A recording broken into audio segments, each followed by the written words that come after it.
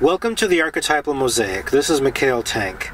On the phone, I have an incredible PhD professor, emeritus of philosophy, William Stephens, who's an author whose interests include ancient Greek and Roman philosophy, Stoicism as a way of life, Stoicism in popular culture, ethics, animals, and the environment. Welcome. Thank you, Mikhail. Um, William, so today we're going to be focusing specifically on the concept of Stoicism and basically how to live that kind of a, a life and a way in order to survive in this world. You have a new book uh, coming out. If you can please uh, tell the audience a little bit about that. Yes, so um, actually, this is a reprint of an English translation of a book on the ethics of the Stoic Epictetus that was authored by a 19th century German scholar named Adolf Bonhoeffer and I translated this. Uh, the bon, this, this uh, second of three books that Bonhoeffer wrote on Epictetus uh, was published by Peter Lang a number of years ago, and it has continued to be so popular because of the rise of interest in Stoicism that the publisher uh, and I agreed that we should do a revised edition, and that's what's going to be coming out in the next month or so. Wonderful. Will it be available at all the major bookstores, Amazon, etc.? It will. It will. And for more information, definitely visit Mr. Stephens at williamostephens.com. Uh, now, let's begin uh, about talking what is Stoicism and how did it come to be known? Okay, so Stoicism is a school of the ancient Greek Hellenistic period. Hellenistic means Greek like, and this was the period several centuries uh, before the Common Era uh, just after the death, uh, around the death of Alexander the Great. So around 300 before the Common Era, uh, a gentleman named Zeno of Citium. Citium is a city on the Isle of Cyprus. Zeno of Citium uh, came to Athens and uh, began teaching this. He, he, became a student to several philosophers, one of whom was a Cynic philosopher and he developed his own new philosophy of life uh, that he began teaching in what is known as the painted porch, the Stoa Poikile, in the Agora, the marketplace of ancient Athens. And so Stoa is a kind of architectural structure. It's a covered walkway or colonnade, or more colloquially, a porch. And so, since the gentleman, since the men who hung out with Zeno and learned his teachings, discussed philosophy at that location, that building in ancient Athens, those who did that philosophy, those who discussed it and lived by that philosophy, came to be known as the denizens of the Stoa or Stoics. Got it. And as an archetype, it reminds me of, for example, Noah's Ark. Or can you bring about some archetypes which basically tell us about the root of the house that you are cover yourself in, like a turtle? Or what kind of things come about archetypally? Well, uh, archetypally you, you, mean in terms of architectural structure? Sure or the image thereof so that a person who is more image based can imagine and pretty much input that the power of stoicism into themselves through a animal a totem a symbol an image. Sure okay. Well uh, i guess stoicism because of the the covered walkway and the columns uh-huh. that are integral to a stoa um, I suppose that the image of a of a column, a Greek column, um, would be a kind of archetype. Um, another one that suggests itself to me uh, comes from a quotation from a later Roman Stoic, Marcus Aurelius Antoninus, uh-huh. who describes Stoicism and the stance of the Stoic in the maelstrom of events beyond one's control as safe inside of a citadel.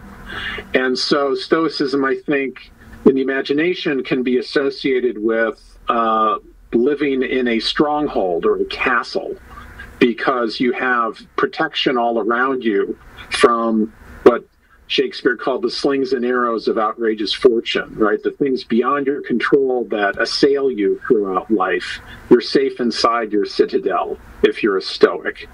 And, but, yeah. Sorry, go ahead.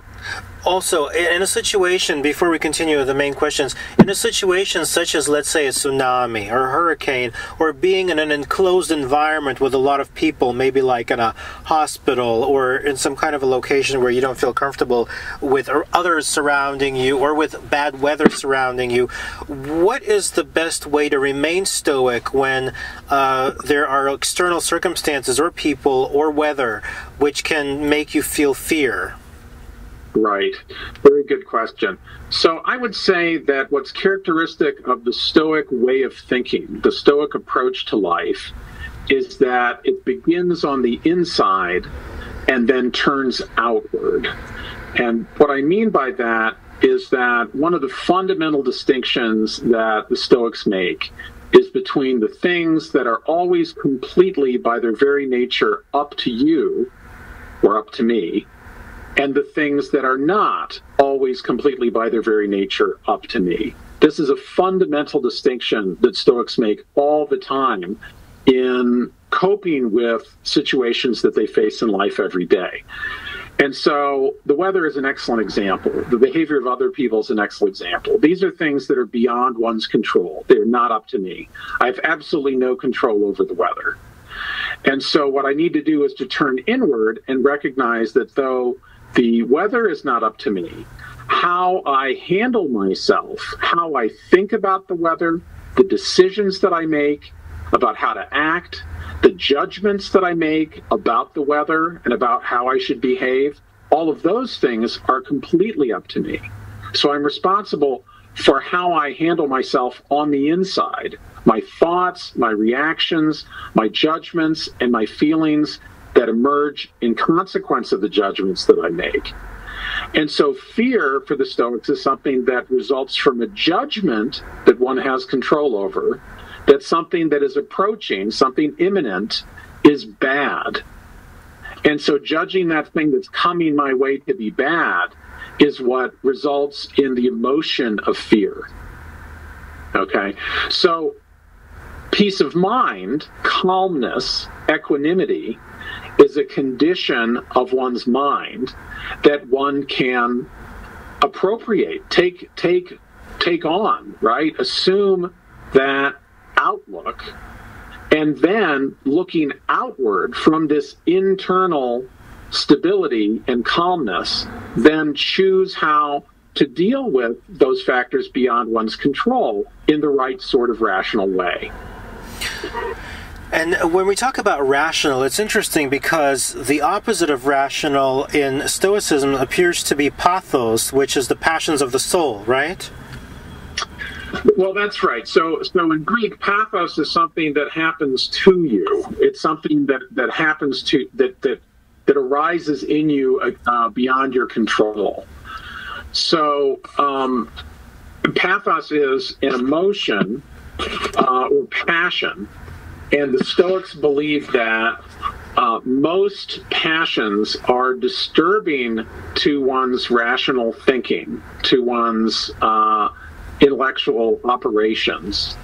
So, fear, anger, grief, envy, resentment, hatred, spitefulness, malice, all of these things are disturbing pathe in the plural, passions of the soul, that destroy your peace of mind and the smooth flow of your life. And so the Stoics believed that it was absolutely vital to get a grip on one's judgments and make proper judgments about what's really good, what's really bad, and what's neither good nor bad in life in order to rid oneself of these disturbing, violent passions of fear and anger and envy and all these other negative feelings. What about the positive passions like love, sensuality, expression, creativity? What, where do those lead to? Right. So the Stoics distinguished from these negative pathe that I that I listed. Right. Three three eupathei. In Greek, there's three good feelings. Uh-huh So the three good feelings that they identified were joy, caution, and rational wishing. So joy is the counterpart for a Stoic to the kind of frivolous giddiness or the kind of elation that someone might have if they find a $20 bill on the sidewalk, right? A Stoic would say happening upon some money is not truly a good event because it does nothing to improve one's self, one's true self, which is going to be one's soul, or to put it in more secular terms, uh, one's moral character, right? It's not going to make someone wiser or more just or more courageous or more generous. So coming into some money by accident, that's not really going to be something that counts as contributing to one's happiness. The only way to contribute to true happiness is to become virtuous and cultivate the virtues of wisdom, courage, justice, and temperance or self control. So that's the good feeling of joy. The feeling of caution is the Stoics' counterpart to what non Stoics experience as fear. If you're driving an automobile, if you're in a hazardous situation, you need to be alert. You need to be mindful and calm, but also try to cultivate a feeling of self confidence that you can navigate that hazardous situation and act appropriately. And that is the emotional uh, stance or the emotion, the good feeling that a Stoic would refer to as caution. And then the third one, rational wish, is the emotion or the feeling of wanting good things, for example, for one's friends.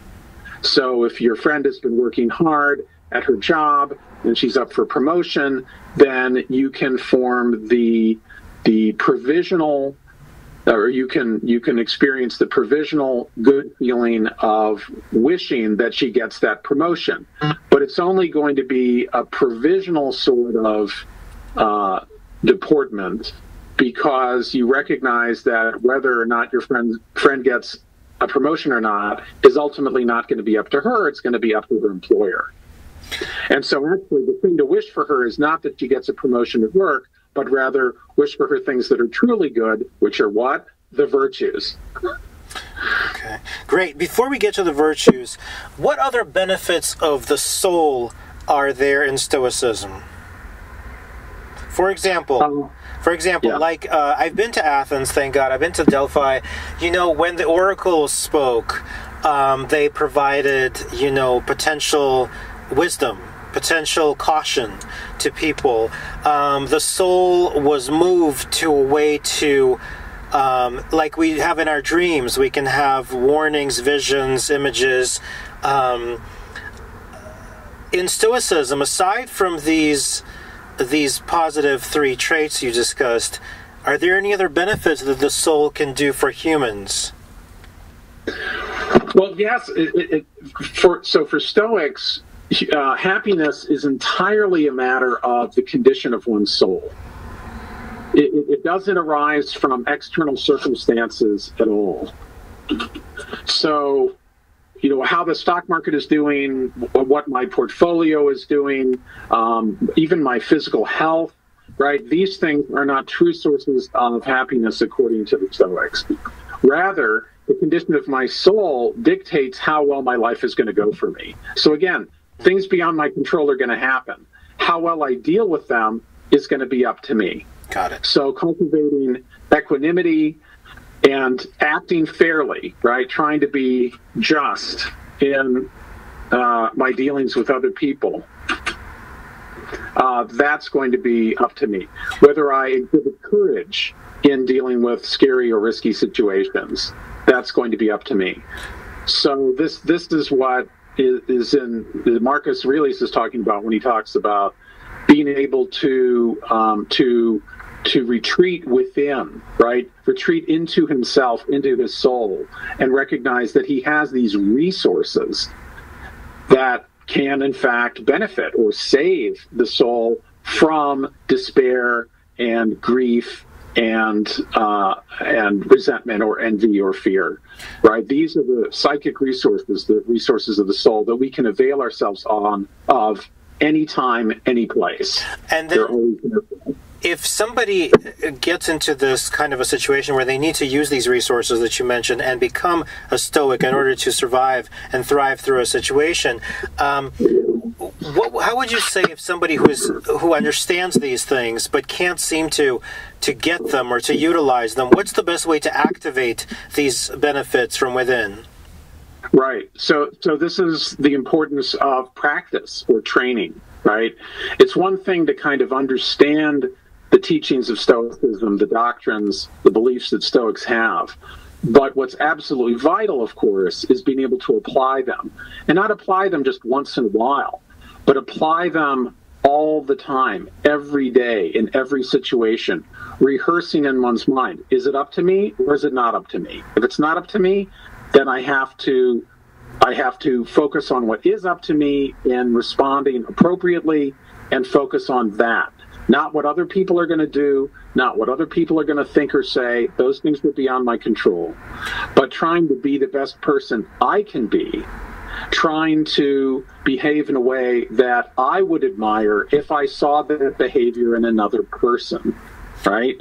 Those are the things that are up to me and it takes practice.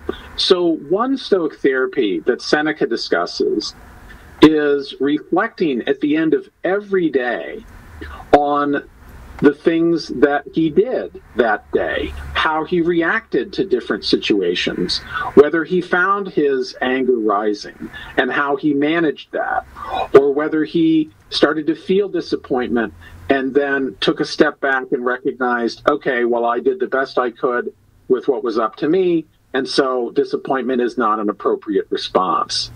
So the goal for the Stoic is to try to make progress in managing these reactions and to try to make progress in practicing them and applying them over time, recognizing that you're not going to become fully wise overnight or over the course of a week or a month. Rather, the Stoic, the great Stoic teacher Epictetus used the image of comparing yourself to an athlete who aspires to compete and win in the Olympics. Stoics are Olympic athletes of the soul. And so when you recognize the discipline and the strictness and the seriousness of daily habits that athletes have to cultivate day in and day out, week in and week out, month after month, in order to hone and perfect their physical abilities and make progress with their greater strength and speed and balance.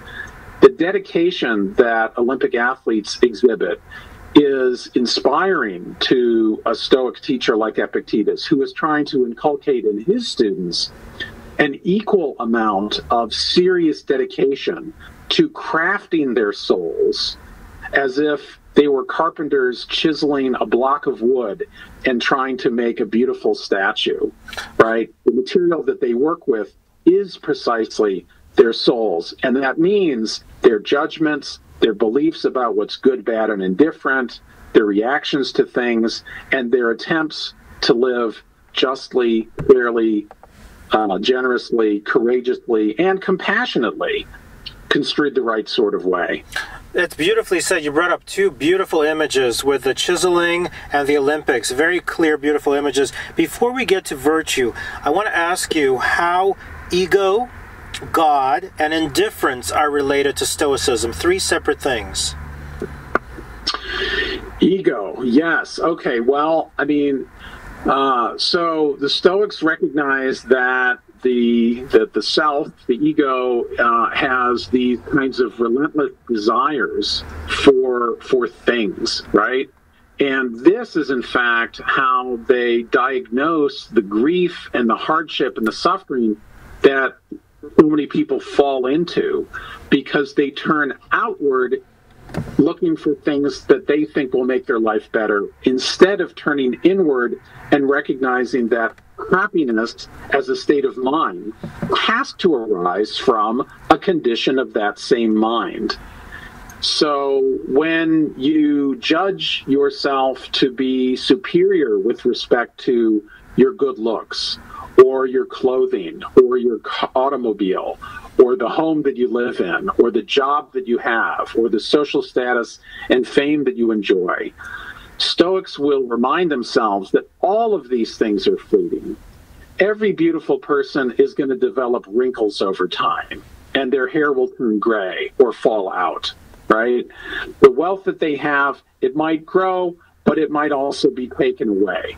And in any case, is impotent to purchase virtue calmness of soul, generosity of spirit. These things can't be purchased at any shop, not at Amazon.com, nowhere. Right? Right. So ego is a kind of internal enemy, as it as it were, because it deflects you from recognizing your shortcomings and your weaknesses, which you can work on improving, right? So to be clear-eyed and avoid self-deception and falling into the falling prey to the, the, the pitfall of egoism, Stoics are going to focus on what they can do to perfect themselves, to make them better. And this is a key point to understand because when Stoics describe the goal in life as living in agreement with nature, as they do, for human beings, they believe that our special endowment was reason. So living in agreement with nature meant living in agreement with reason. And then what is reason perfected? Well, Stoics believe that the perfection of reason is simply what virtue is. That's what virtue is. It's not some sort of mysterious, um, you know, ghost like condition of the mind. Virtue just is the perfection of reason. It just is judging and acting and behaving wisely and courageously and justly. All of these are just different names applied to different spheres of action. Beautiful, beautiful. Well said that uh, virtue is the perfection of reason. That's a very clear. That was going to be one of my next questions. So you you define that. Uh, the the other two uh, items is uh, how does God come into Stoicism? Can there be a relation? Are they separate entities? Can they be united and parallel? And then also the concept of indifference. And is indifference really, in your opinion, the opposite of love as opposed to hatred? Yes, good. So, a lot to say about indifference. So, so responding first to the question about God. So, the Stoics believe that the cosmos, and the Greek word means world order. So, the very notion of a disordered universe is is anathema to Stoic thinking, right? It's an orderly place. Things are organized, they're structured very clearly. We can discern that structure with our intellects. So the cosmos is an orderly world, is a single living organism.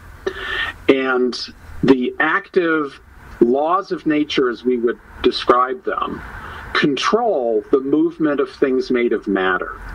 So the Stoics conceived of theos, God, as precisely that active principle which organizes and structures the entire universe. Therefore, living in agreement with nature, which is how they define the goal of life, means, among other things, living in agreement with that orderly, structured flow and unfolding of events in this rationally structured world. Which is to say that they believe that we have to conform our desires to the way that the world happens, to how things unfold. The, they have a wonderful image of the relationship between our human place in the world and the world itself. And they liken this to a dog that is leashed to a moving wagon. And the wagon is rolling forward. The wagon is the universe. And the dog has a choice the dog can either choose to walk behind the moving wagon, since it's attached by the leash to it, and keep pace with it and go in the direction that, it, that the wagon goes, or the dog can choose to resist and dig in and try to fight against the direction that the wagon is going. And if that's the choice the dog makes, then it'll get dragged anyway. So the world is going to take us the direction that it's going in no matter what.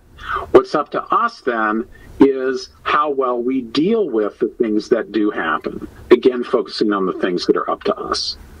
And so living in agreement with nature is just what the Stoics mean by accepting what God wants. The universe unfolds the way that God wills it to unfold. And our happiness does not consist in trying to resist it or overturn that because we have no power to do so.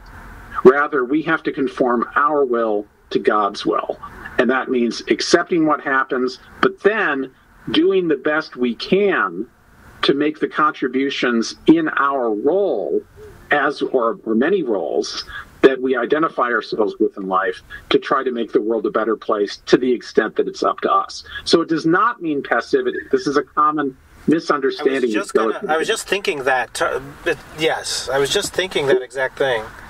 Right. So, so Stoics so when you accept the way the world is, this doesn't mean that you you just lie on your couch and watch TV all day. Mm-hmm. Because again, remember the Stoics believe that the only true goods are these virtues. Mm-hmm. And so if you value your justice more than anything else, if you value being as just a person as you can possibly be, then this is going to manifest itself in all of your actions. You're going to be fair and just in your dealings with strangers and your closest friends and family members alike. And so, insofar as the Stoic is absolutely committed to living justly and being just, this means, as I interpret Stoicism, contributing as a member of society to making your community a better place, both locally and globally. So there's not there's no passive uh, posture here where the Stoic just lets things happen. No, the rationality, the virtue of a Stoic is precisely measured by how virtuously he responds to what the world throws her way and what happens. Great. Uh, and finally, the concept of indifference as it relates. So, when Stoics talk about judging what things are good, what things are bad, and what things are indifferent, what they mean is there are things which are neutral. So, take, for example, possessions, right? Or take a common possession like a tennis racket. I play a lot of tennis myself. So, a tennis racket is a piece of sporting equipment, which in itself has no value with respect to my happiness. So, for example, I don't need to carry my tennis racket around with me when I'm not playing tennis. It has no value in itself when I'm not on the tennis court, right? It's a tool. And when I am on the tennis court, my my skills, my tennis virtue, if you will, my tennis ability is measured precisely by how well I use my tennis racket when I'm playing the game of tennis. In itself, however, it is indifferent.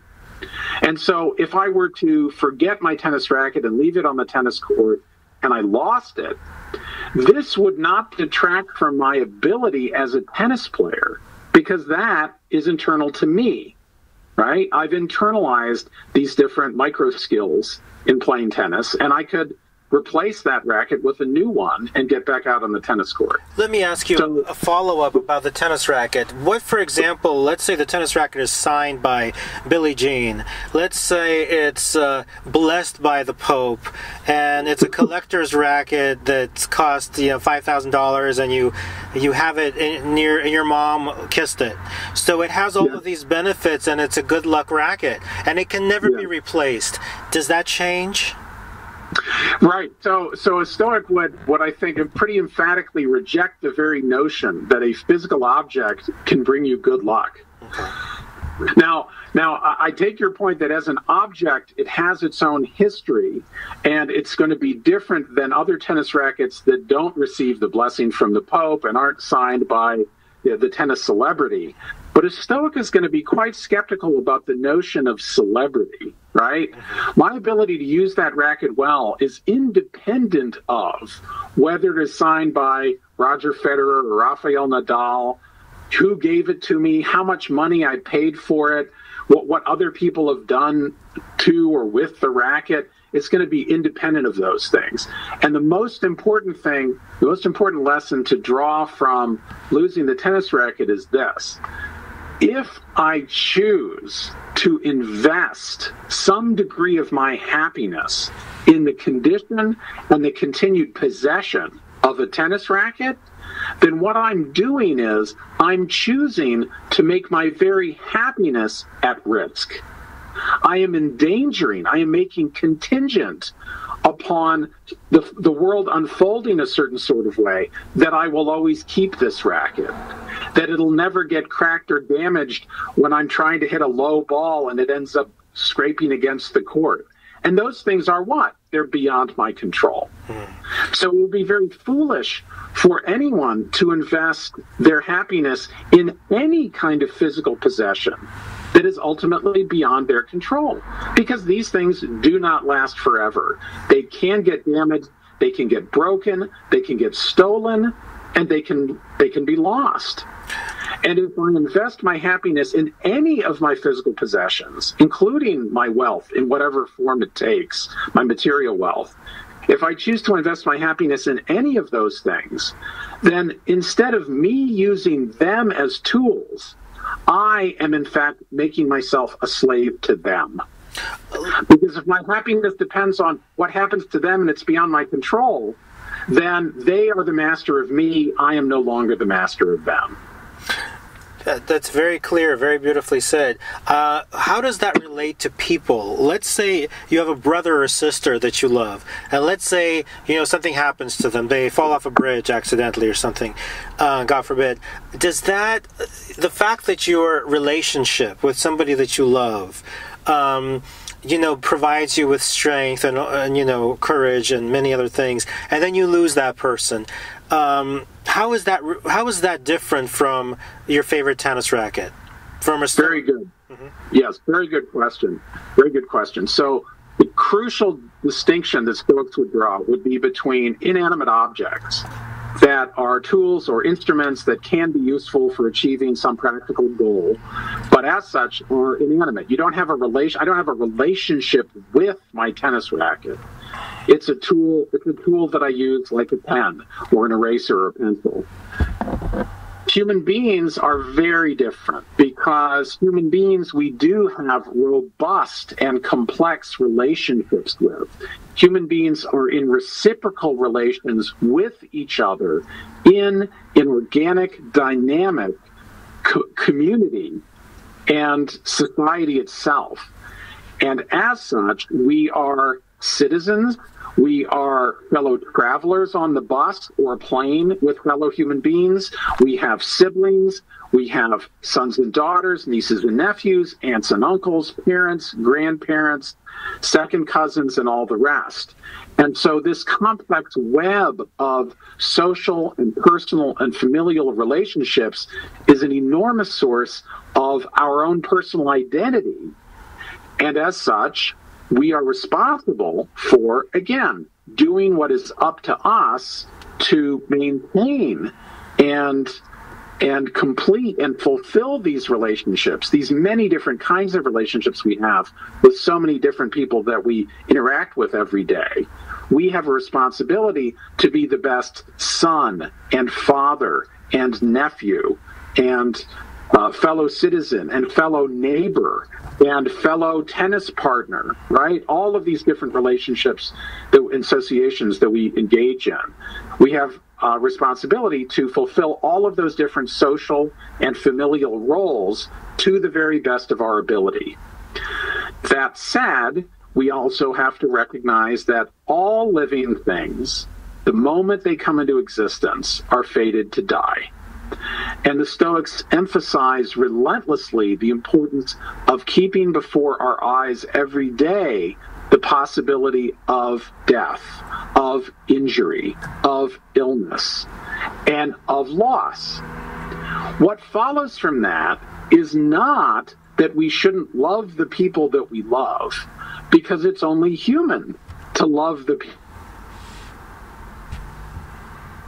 feeling like a statue. But once we have children, we can't not love them as our offspring. So Stoics recognize that love is an extremely natural and appropriate phenomenon or manifestation of our deeply social nature as human beings in community with each other.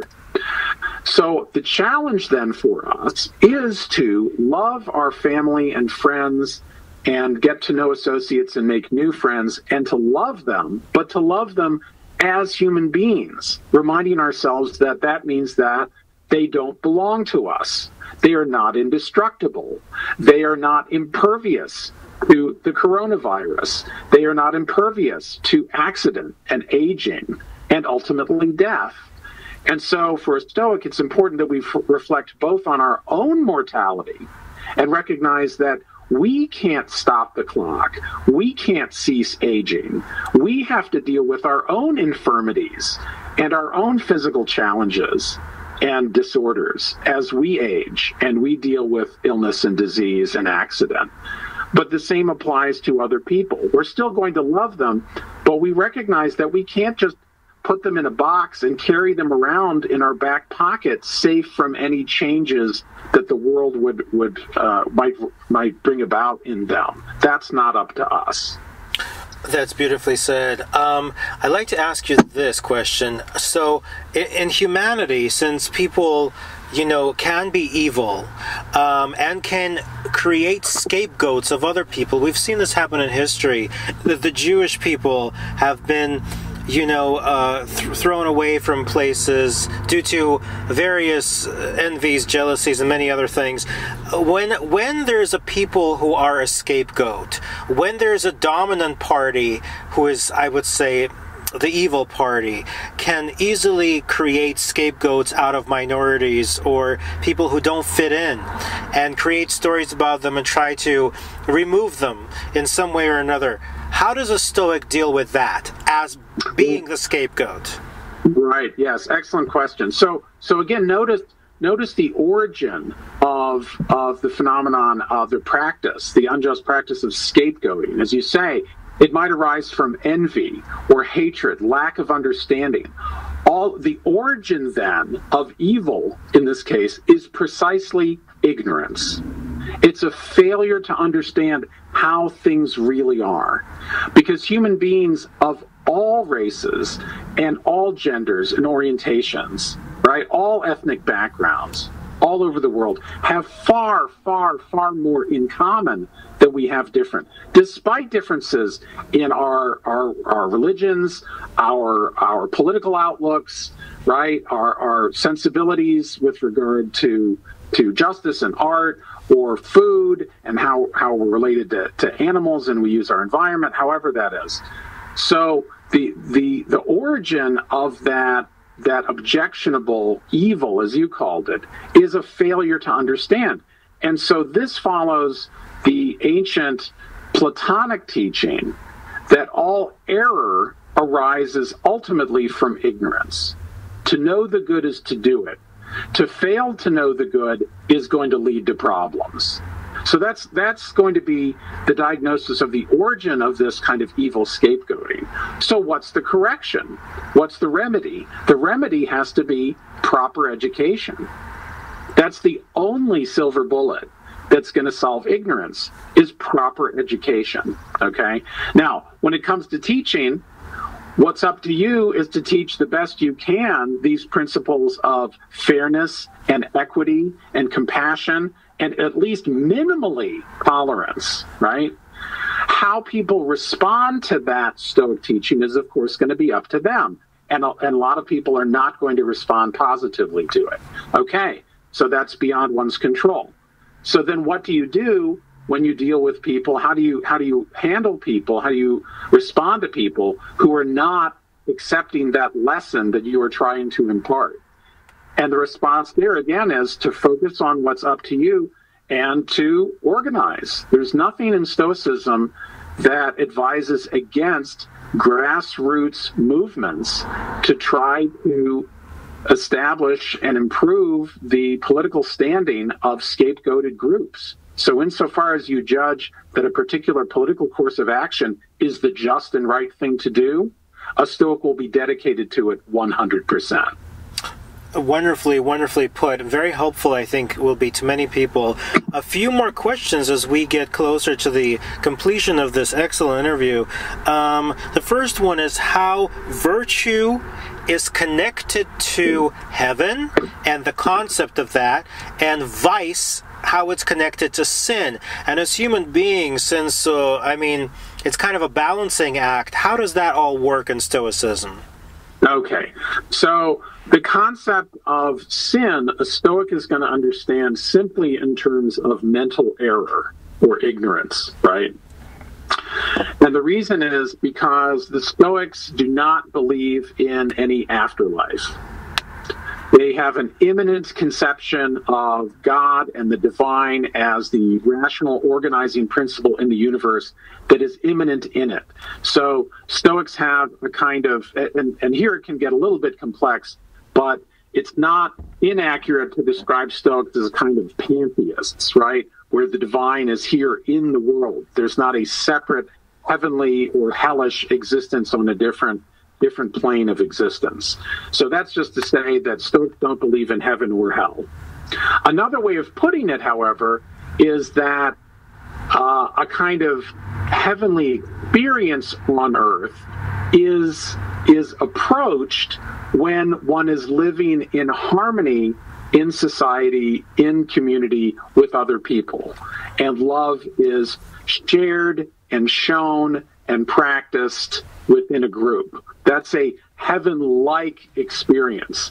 And it's not beyond our grasp. It is something that we can experience or perhaps even have experienced at different times and different places during our lives. So, on the other hand, the other side of the coin would be what would be a hellish experience? Well, this would be one in which people are so blinded by ignorance and a failure to understand what's good, bad, and indifferent that they are motivated exclusively or what seems to be exclusively by hatred, mm-hmm. right? Malice and spite, leading to violence, which is why the Roman Stoic Seneca, one of his most magnificent works is called De Ira on anger.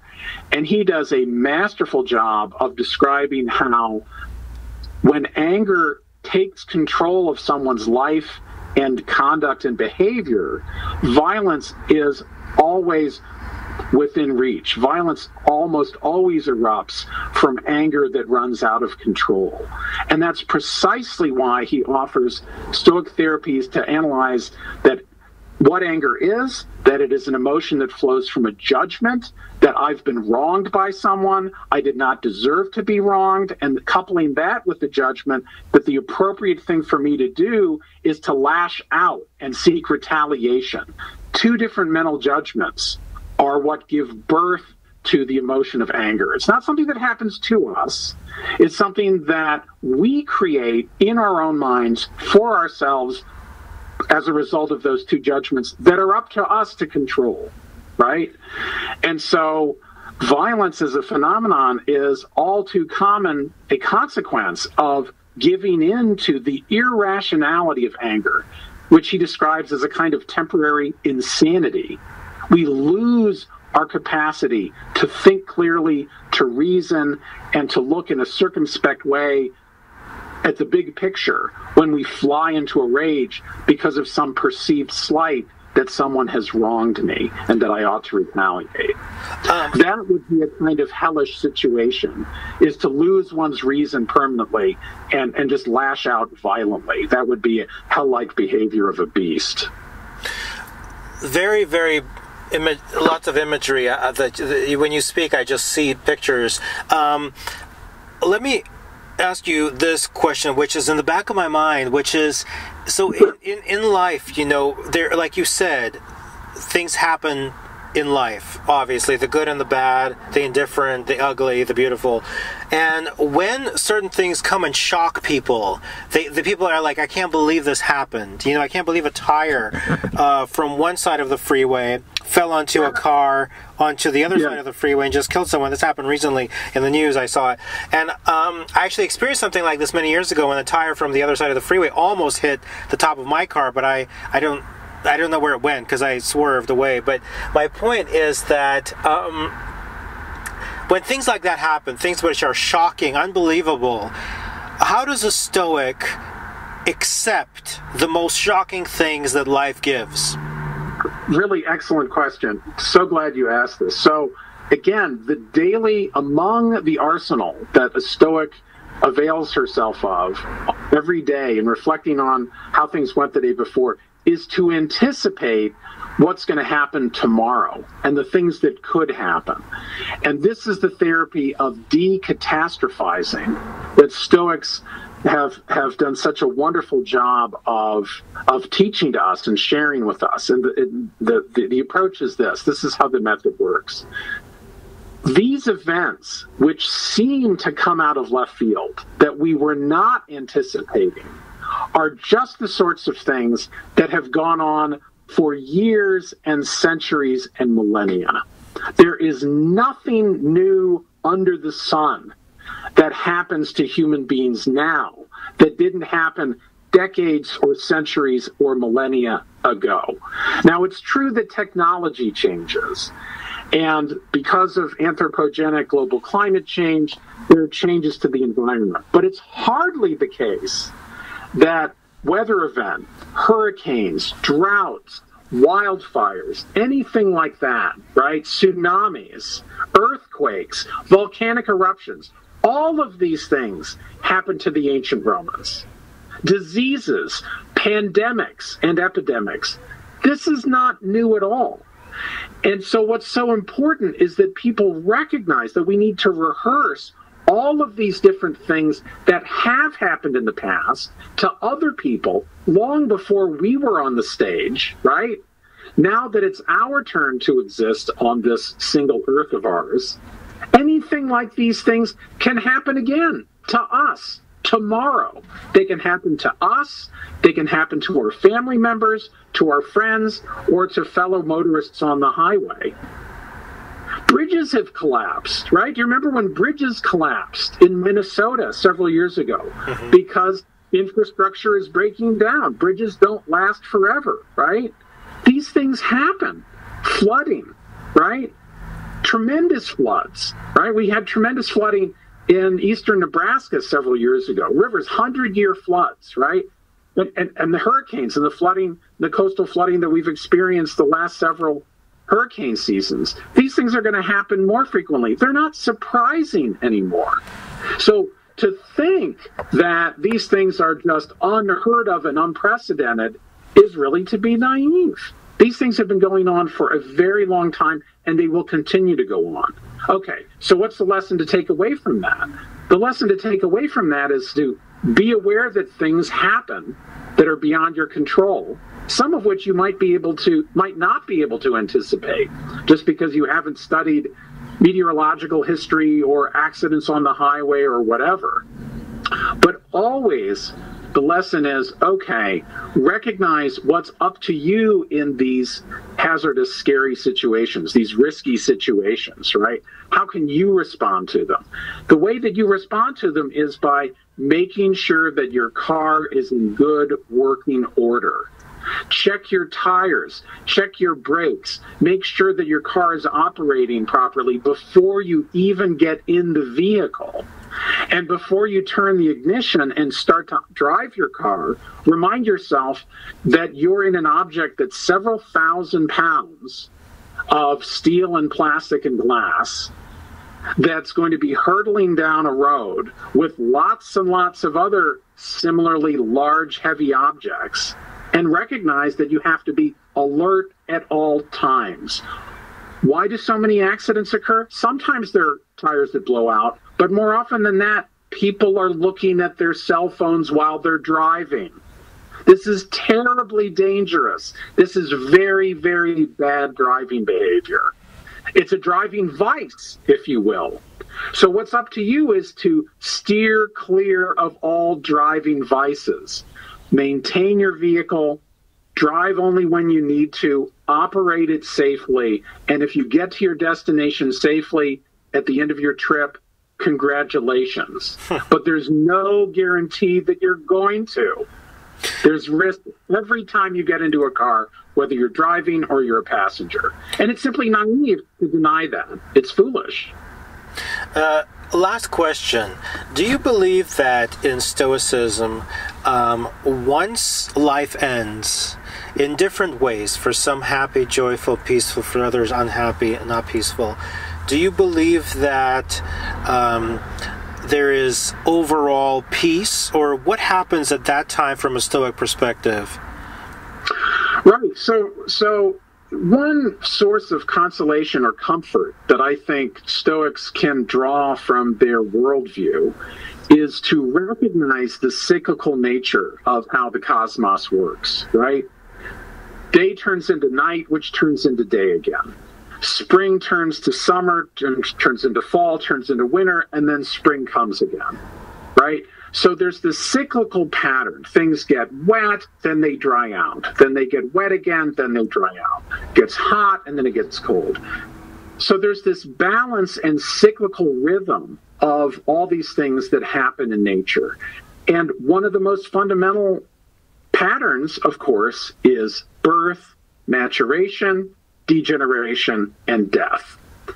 But death is simply the other side of the coin to birth.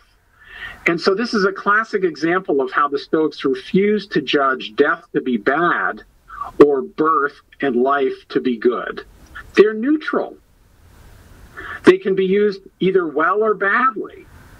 And from the big cosmic perspective, ultimately, since they fit in an appropriate way into this cosmic whole in a structured way, in a global perspective, they're good.